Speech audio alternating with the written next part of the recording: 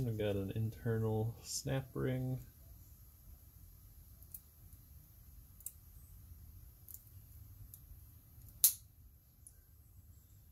Some interesting design.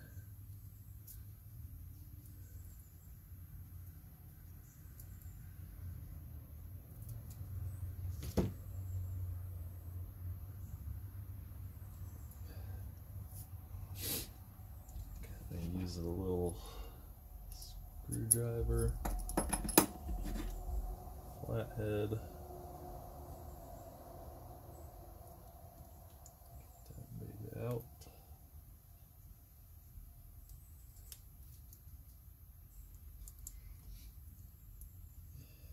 This should come out.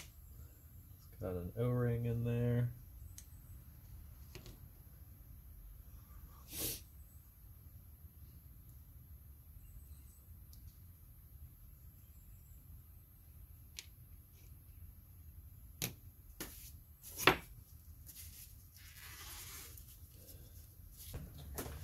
Got that nice and clean.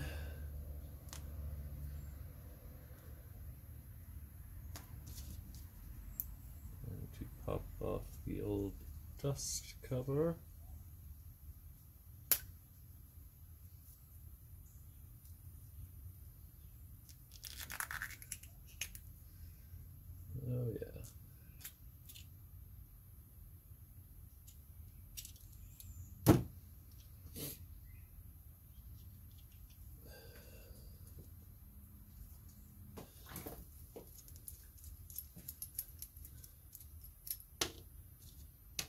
Okay.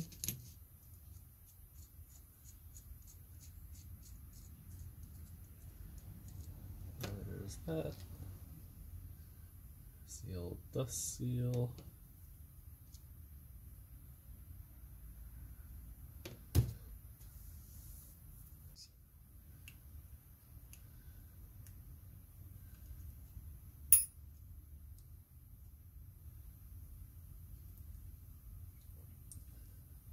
So there's a kind of a plunger bolt. It's held in by a snap ring. Removing spring and the piston there. That's all getting replaced.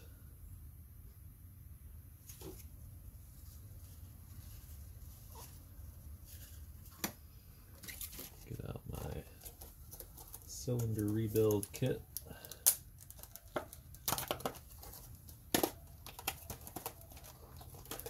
Make sure everything's there.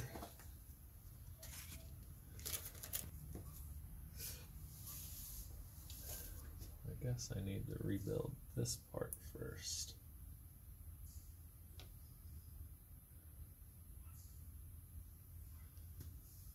Get my trusty wooden stick.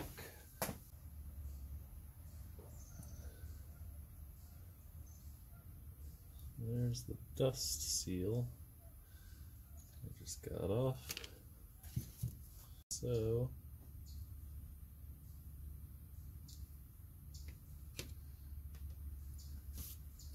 I can put these parts back in the box.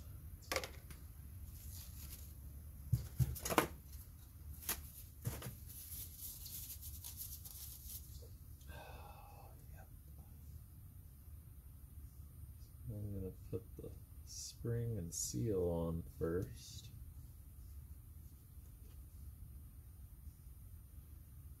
Lube up the seal with a, brake fluid.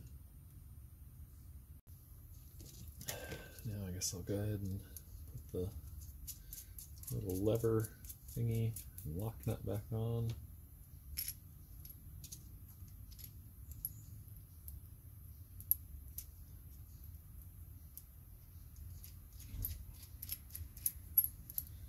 It was three threads out, if I remember.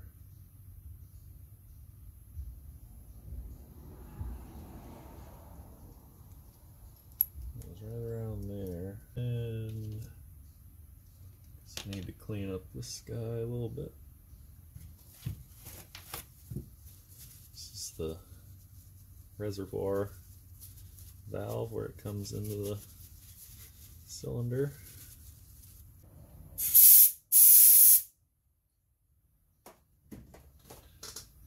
And I'll get the new O-ring snap, snap ring ready.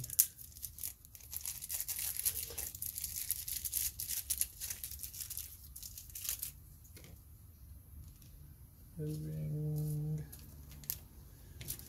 Which one of these? I think that one has some weird teeth on it, so I'm gonna go with the one that is basically identical. The other snap ring in there, dust boot, O-ring, and guess I'll put a little brake fluid on the O-ring for lubrication. I'll put it into this little slot, press it against the wall.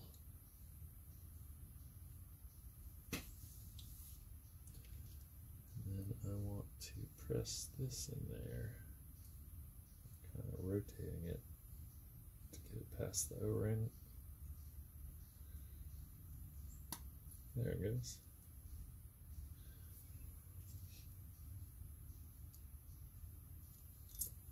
Course, I gotta pull it out a little bit so that the snap ring will get in there.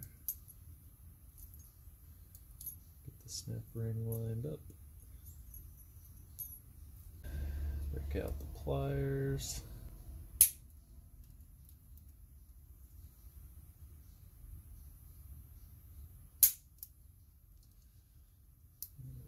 Tight snap ring.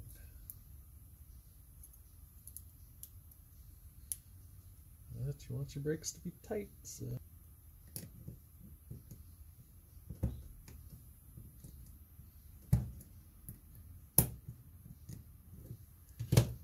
Now I should just be able to tap it in.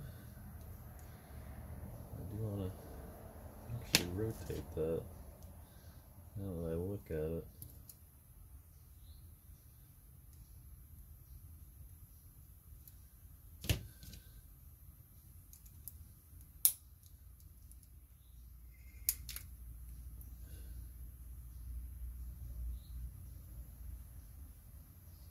Snap rings in.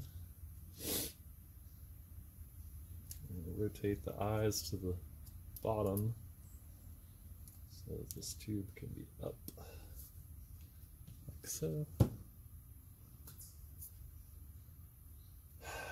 About, I think I'll be ready to put this all back together. Put these copper washers where the other ones were.